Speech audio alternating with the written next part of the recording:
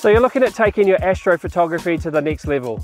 Here are a few of my top tips to help you get images like this. So the question I get asked the most is, how do you get such detail and colour in your Milky Way images? And the answer is simple, long exposure star tracking on a mirrorless camera. A star tracker enables me to capture far longer exposures than once was traditionally possible.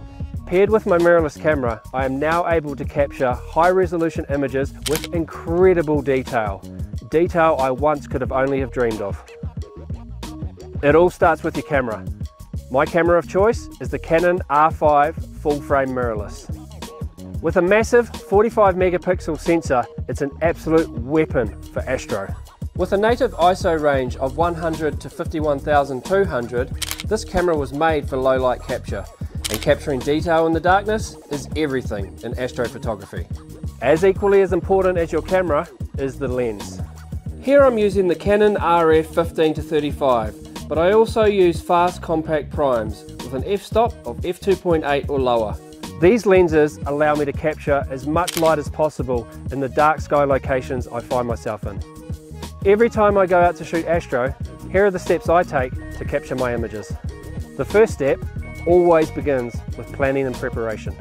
Make sure you check the lunar cycle. The best time to shoot is around the new moon. Make sure you check the weather. If you can't see the sky, you definitely can't see the stars. I do this by checking my favourite websites and apps. These include Windy, YR and Mountain Forecast. I have found these to be the most accurate. And last but not least, don't forget to bring snacks.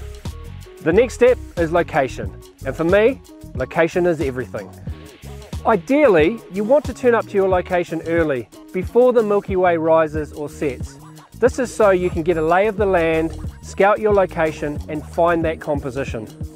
I'm looking for a dark sky location with interesting foreground elements. This can be anything from mountains, lakes, rivers, anything in the foreground that I can frame against the night sky.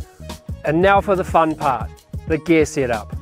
This always starts with having a solid foundation, so you want a sturdy tripod which is going to give you the best chance to get sharp images. The next thing I do is mount my star tracker. I make sure it's balanced and aligned in preparation for twilight where I'll do my final alignment. And last but not least, I mount my camera. Here are a few of my go-to settings which I use almost every time I shoot.